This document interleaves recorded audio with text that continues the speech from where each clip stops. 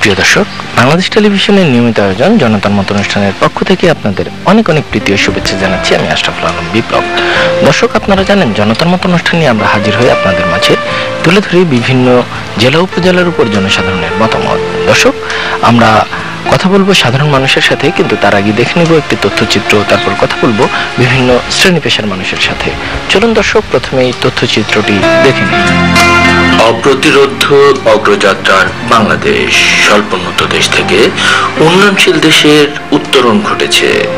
জাতিসংঘের অর্থনৈতিক ও সামাজিক উন্নয়ন নীতি সংক্রান্ত কমিটি সিডিপি গত পনেরোই মার্চ এলডিসি থেকে বাংলাদেশের উত্তরণের যোগ্যতার অর্জনের আনুষ্ঠানিক ঘোষণা দেয়।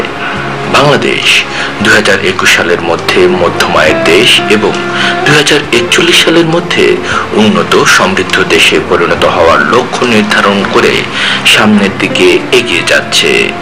বাংলাদেশের উন্নয়ন অগ্রযাত্রায় উঠে আসে জন্মের পঞ্চাশ বছরও কম সময়ের মধ্যে কীভাবে বাংলাদেশ দ্রুতগতি সম্পন্ন বঙ্গবন্ধু স্যাটেলাইট এক উৎক্ষেপণের মতো সফলতা দেখিয়েছে, উঠে আসে জাতির পিতা কীভাবে সমগ্র জাতিকে স্বাধীনতা অর্জনের জন্য একতাবদ্ধ করেছিলেন, যুদ্ধ বিধ্বস্ত একটি দেশ থেকে কীভাবে জাতির পিতার স্বপ্নের সোনার বাংলায় পরিণত হতে যাচ্ছে আজ বাংলাদেশ। প্রধানমন্ত্রী শেখ হাসিনার গতিশীল নেতৃত্ব দীর্ঘমেয়াদী পরিকল্পনা এমডিজি অর্জন এসডিজি বাস্তবায়ন সহ শিক্ষা, স্বাস্থ্য, লিঙ্গ সমতা, কৃষি, দারিদ্র সীমা হ্রাস গড়ায়ু বৃদ্ধি রপ্তানিমুখী শিল্পায়ন, একশোটি বিশেষ অর্থনৈতিক অঞ্চল, পোশাক শিল্প, ঔষধ শিল্প, রপ্তানি আয়, বৃদ্ধি সহ নানা অর্থনৈতিক সূচকে এগিয়ে যাচ্ছে আজ বাংলাদেশ।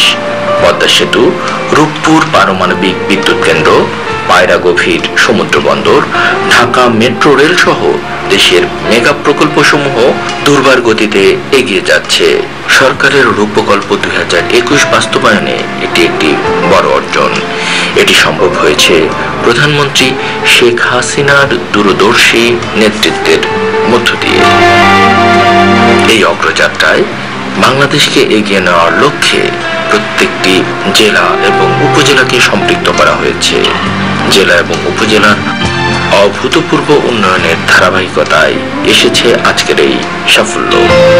আমাদের আজকের আয়োজনে থাকছে রাজশাহী উন্নয়ন, রাজশাহী জেলা, যার মোট আয়তন দুই হাজার চারশো সাত দশমিক শূন্য এক কিলোমিটার। জনসংখ্যা মোট তেইশ লক্ষ সাতাত্তর হাজার তিনশো এগারো জন। শেষ আদমশুমারি অনুযায়ী, মোট সাক্ষরতার হার সাতচল্লিশ দশমিক পাঁচ চার শতাংশ। রাজশাহী জেলাটি নয়টি উপজেলার সমন্বয়ে ঘেরা। গোদাগাড়ি তানোর, মোহনপুর, বাগমারা, দুর্গাপুর, বাঘা, চারঘাট, পবা, পুটিয়া এই নয়টি উপজেলা নিয়ে রাজশাহী জেলা গঠিত। রাজশাহী জেলার ঐতিহ্যের মধ্যে রয়েছে পদ্মা নদীর বাঁধ, পুটিয়া, রাজবাড়ি রাজশাহী কান্দির চিড়িয়াখানা, বরেন্দ্র জাদুঘর এবং বাঘা মসজিদ। রাজশাহী বিশ্ববিদ্যালয়, বাংলাদেশ তথা এই উপমহাদেশের একটি ঐতিহ্যবাহী বিদ্যাপীঠ। রাজশাহী বিশ্ববিদ্যালয়টি নিচে প্রতিষ্ঠিত হওয়ার পর থেকে শিক্ষার দ্যুতি ছড়িয়ে দিয়েছে সারা বাংলাদেশে। এই বিশ্ববিদ্যালয়কে এগিয়ে নেওয়ার লক্ষ্যে সরকার নিয়েছে নানা পদক্ষেপ। বহুতল ভবন নির্মাণ সহ প্রশাসনিক ভবন নির্মাণ, সিনেট ভবন নির্মাণ, কেন্দ্রীয় মসজিদ নির্মাণ, নজরুল মিলনায়তন নির্মাণ, বুদ্ধিজীবী চত্বর নির্মাণ প্যারিস রোড নির্মাণ, সাবাস বাংলাদেশ নির্মাণ, বঙ্গবন্ধু হল, মুন্নুজান হল লাইব্রেরি। শহীদুল্লাহ কলা ভবন থেকে শুরু করে কি হয়নি এই সময়কালের মধ্যে? শুধু কি তাই?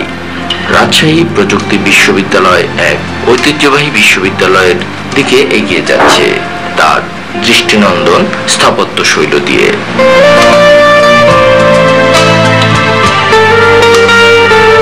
Rajshahi college, Shah Makhdum college.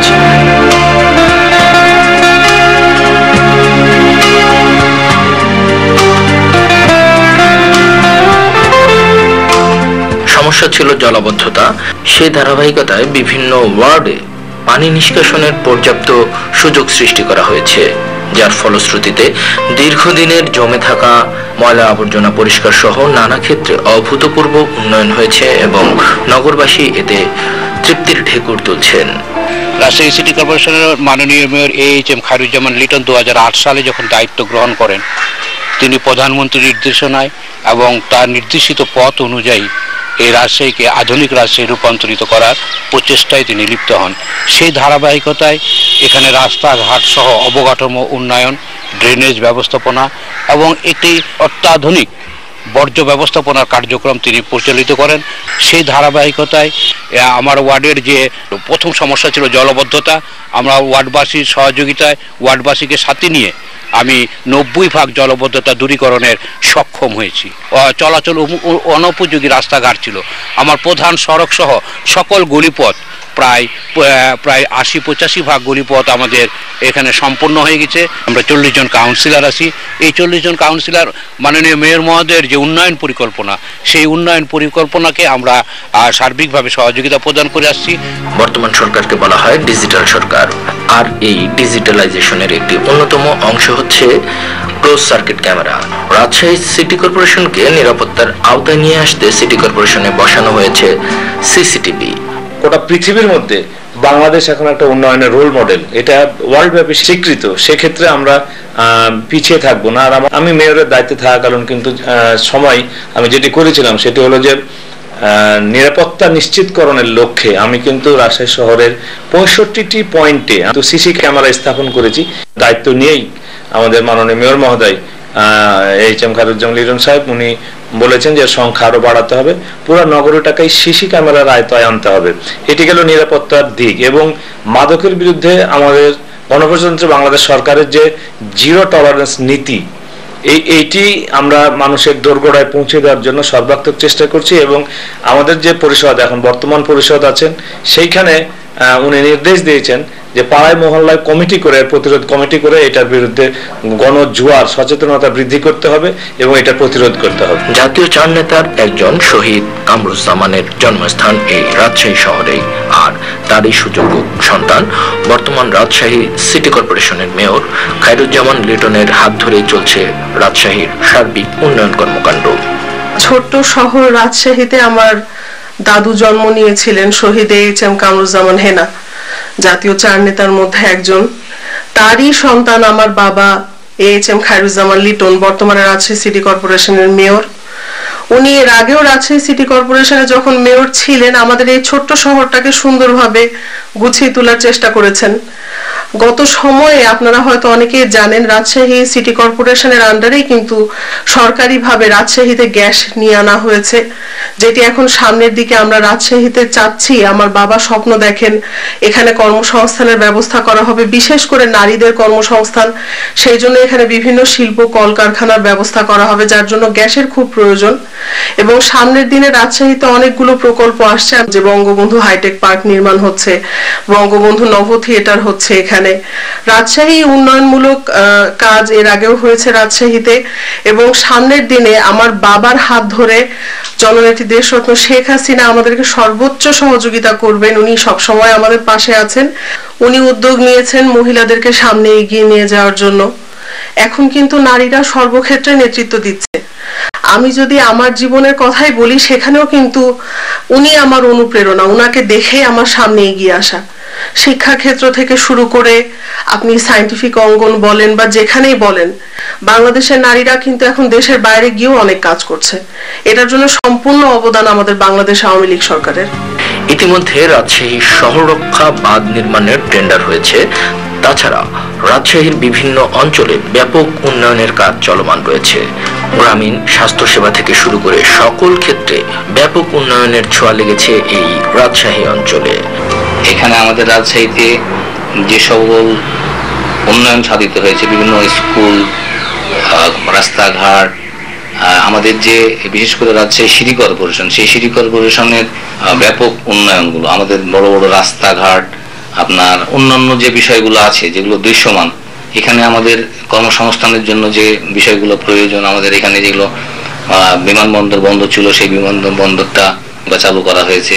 তো এইভাবে আমরা মনে করি যে আমাদের বাংলাদেশ আওয়ামী লীগের যে সরকার, আমাদের যে বঙ্গবন্ধু কন্যা জননেত্রী শেখ হাসিনার যে সরকার, সেই সরকারের কাছে আমরা অনেক কিছু প্রত্যাশা করি। আমাদের রাজশাহীর যে ঐতিহ্য, সেই ঐতিহ্য নিশ্চয়ই আমরা ধরে রাখতে পারব এবং ইতিমধ্যেই আমাদের রাজশাহী শহর রক্ষাবাদ থেকে শুরু করে গোদাগাড়ি পর্যন্ত এই বাঁধের টেন্ডারও ইতিমধ্যেই সম্পূর্ণ হয়েছে। বাঁধ নির্মাণের কাজও শুরু হয়েছে। রাজশাহী শহর আরও সুন্দর করার জন্য বা কর্মসংস্থান সৃষ্টি করার জন্য যা যা করা প্রয়োজন আহ, জননেত্রী শেখ হাসিনা রাজশাহীর মানুষকে উপহার দিবে। রাজশাহী নিউ গভর্নমেন্ট ডিগ্রি কলেজে নারী শিক্ষার্থীদের শিক্ষা কার্যক্রমে বিশেষ ব্যবস্থা রয়েছে এই কলেজটিতে। আমি নিউ গভর্নমেন্ট ডিগ্রি কলেজের একাদশ শ্রেণির মানবিক বিভাগের ছাত্রী আমি Mosammat Ishrat Jahan. Girls care windows এর পক্ষ থেকে আমরা মাসিক বিভিন্ন সুবিধা সমূহ পেয়ে থাকি। যেমন স্যাভলন স্যালাইন ন্যাপকিন এছাড়া আমরা যখন অসুস্থ হয়ে পড়ি, এখান থেকে বিভিন্ন ধরনের সুযোগ সুবিধা আমাদেরকে দেওয়া হয়, আমাদের চিকিৎসার ব্যবস্থা করা হয়। এছাড়া আমরা যখন কলেজে এসে তাৎক্ষণিকভাবে অসুস্থ হয়ে পড়ি সেই সময় ওখান থেকে আমরা ওষুধপত্র বা বিভিন্ন ধরনের সেবা পেয়ে থাকি এবং স্যার বা সেই কমিটির পক্ষ থেকে আমরা যত রকমের মানে চিকিৎসাধীন সমস্যা থাকে, সেই সমস্যাগুলো সমাধান পেয়ে থাকে। দু হাজার আঠারো সালের আট মার্চ, নিগমবেন ডিগ্রি কলেজের নারী কর্মকর্তাদের জীবনে ছিল একটি অবিস্মরণীয় দিন। এই দিন আমাদের কলেজের মাননীয় অধ্যক্ষ, তিনি আমাদের জন্য সেদিনটাতে ওপেন করেন, lady officers refreshment and child care zone. পরবর্তীতে তিনি নারী কর্মকর্তারা যারা আছেন, তাদের কথা চিন্তা করে এটাকে আরও এনলার্জ করেন এবং লেডি অফিসার্স রিফ্রেশমেন্ট এবং চাইল্ড কেয়ার জোনকে সৃষ্টি করেন। তো সেই ক্ষেত্রে আমরা বলতে পারি যে তিনি এটি পায়োনিয়ারের ভূমিকা পালন করেছেন সারা বাংলাদেশ, এখান থেকে উপকৃত হতে পারে। বর্তমান বাংলাদেশের সাথে তাল মিলিয়ে ডিজিটাল যে বাংলাদেশ, মাননীয় প্রধানমন্ত্রী জননেত্রী শেখ হাসিনা শিক্ষার যে বিস্তারের জন্য যে কার্যক্রম চালিয়ে যাচ্ছেন, সে অনুযায়ী আমাদের রাজশাহীর মধ্যে Rajshahi new government degree college অনেকটা উন্নত হয়েছে এবং সারা বাংলাদেশের মধ্যে গত ষোলো সালে আমাদের Rajshahi new government degree college ইন্টারের রেজাল্টে সারা বাংলাদেশের মধ্যে প্রথম স্থান অর্জন করেছে। রাজশাহীকে শিক্ষার নগরী বলা হয়, কিন্তু এই রাজশাহীতে এক সময় কর্মসংস্থানের ব্যবস্থা ছিল না। প্রত্যেকটি বিভাগ যে যার উন্নয়ন প্রক্রিয়াকে ত্বরান্বিত করার ক্ষেত্রে ব্যাপক ভূমিকা রেখে চলেছে। রাজশাহী নিউ গভর্নমেন্ট ডিগ্রি কলেজে বাটন কিপারের মাধ্যমে একযোগে পরিবেশিত হয়ে আসছে জাতীয় সংগীত। বঙ্গবন্ধুর সুযোগ্য কন্যা, আমাদের এশিয়ার লৌহ মানবী জননেত্রী শেখ হাসিনা যেভাবে আমাদেরকে স্বপ্ন দেখিয়েছেন, যেভাবে বিগত দশটি বছরে বাংলাদেশকে তিনি উন্নতির চরম শিখরে পৌঁছে দিয়েছেন, বিশ্ববাসীর কাছে আমাদেরকে মর্যাদাবান করেছেন, আমাদেরকে উদ্ভাসিত করেছেন। সেই আলোকবর্তিকায় আলোকিত হয়ে আমরাও চেষ্টা করেছি এই প্রতিষ্ঠানকে নতুন একটি মাত্রায় উন্নীত করার জন্য। কেবল এই প্রতিষ্ঠানের শিক্ষার্থী